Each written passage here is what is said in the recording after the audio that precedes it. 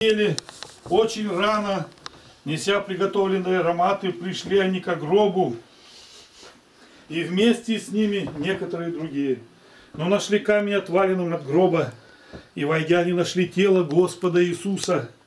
Когда же недоумевали они о сем, вдруг предстали пред ними два мужа в одеждах блистающих, и когда они были в страхе и наклонили лица свои к земле, сказали им, что вы ищете живого между мертвыми.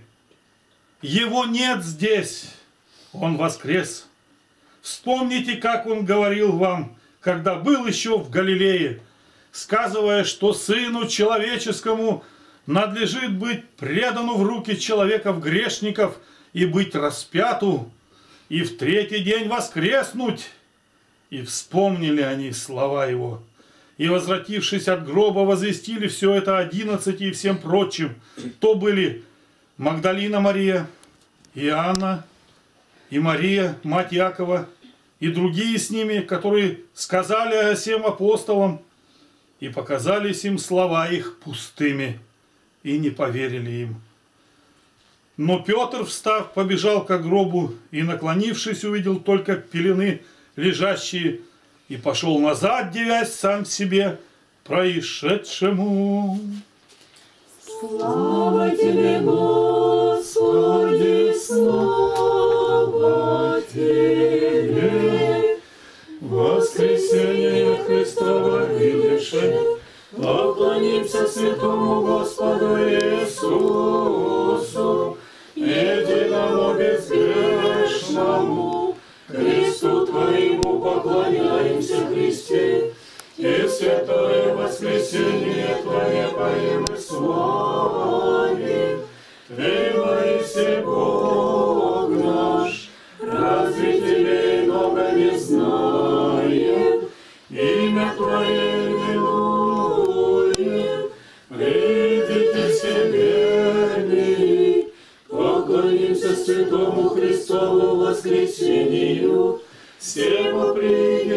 придет Христу радость всему миру, всегда благословящий Господа, поем воскресение Его, распятие Его претерпев, смертью смерть разрушив.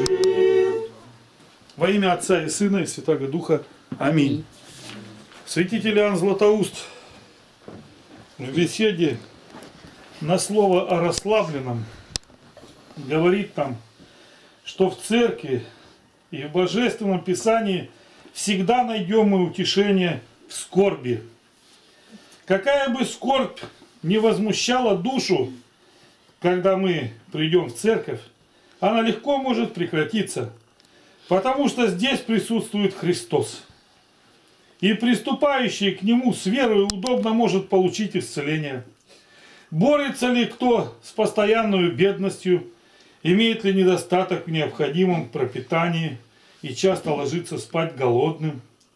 Пришедший сюда и выслушав Павла, который говорит, что он проводил жизнь в голоде, в жажде, в ноготе, и не один, не два и не три дня, но постоянно переносил это, ибо это выражают слова его, даже до ныне терпим голод и жажду, и наготу, и побои. 1 Коринфянам 4 глава 11 стих.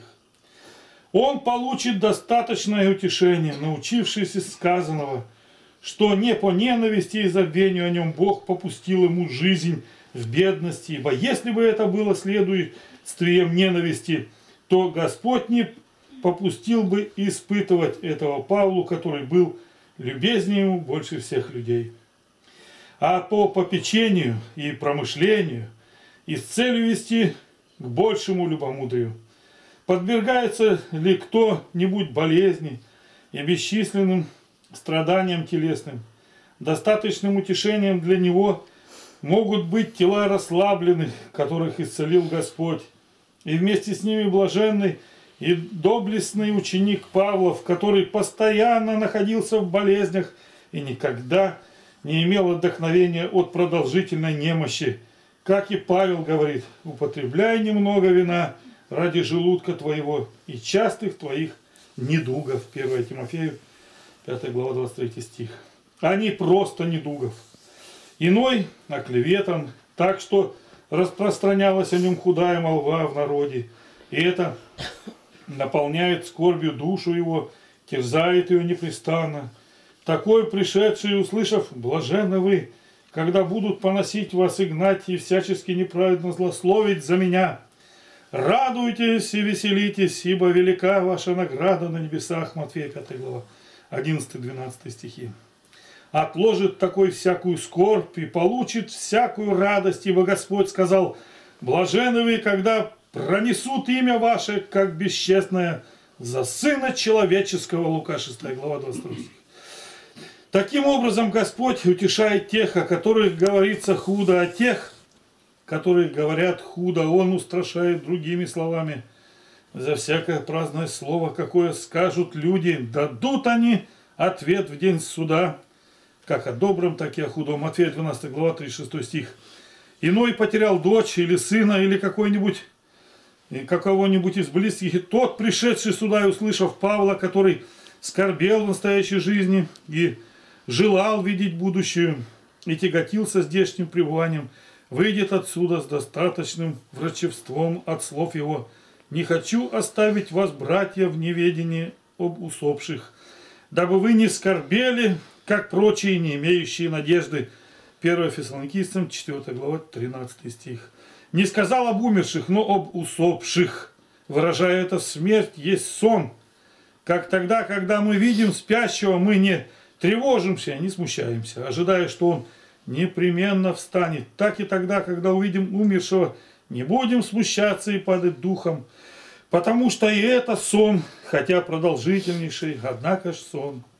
Так, называя усыпление, он утешал плачущих и отразил возражения неверующих. Если, говорит, ты нетерпеливо оплакиваешь усопшего, то делаешься подобным неверующему, который не имеет нужды и надежды на воскресение. Тот справедливо плачет, так как не может нисколько любомудрствовать о будущем. А ты, получив столько доказательств касательно жизни будущей, почему впадаешь в ту же слабость, как и он?